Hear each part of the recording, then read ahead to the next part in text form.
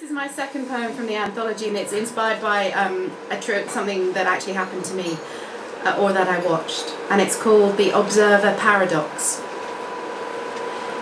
It takes you a moment to realise that the man with two boxes of knives turned away by the waitstaff came to bargain, not stay.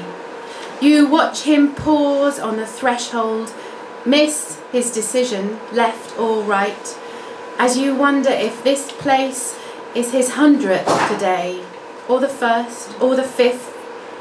He pricked the skin of this cafe so lightly, lightly unseen by the couples, the chattering families. Will he appear in the drawing made by the child over there with her father? When he gets home, boxes intact. Will the fact that you saw him make any difference at all?